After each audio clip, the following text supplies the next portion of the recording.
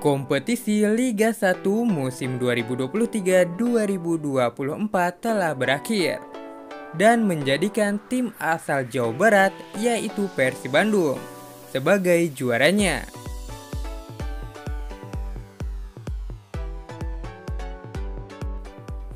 Dan Liga 1 musim 2024-2025 akan segera datang.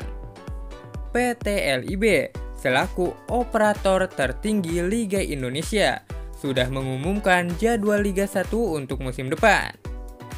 Liga 1 musim 2024-2025 akan kick off pada Jumat 2 Agustus 2024. Format kompetisi sendiri masih menggunakan reguler dan championship series. Namun terdapat aturan baru. Yang pertama, tambahan dua pemain asing baru. Pada Liga 1 musim 2024-2025, setiap tim bisa mengontrak 8 pemain asing dengan komposisi 6 bebas plus 2 pemain asing asal Asia. Namun, yang bisa menjadi starter adalah 5 plus 1 Asia.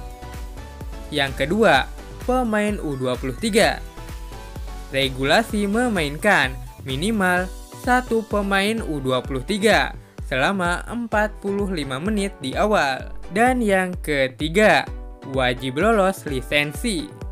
Semua kontestan Liga 1 musim depan wajib memenuhi ketentuan tersebut.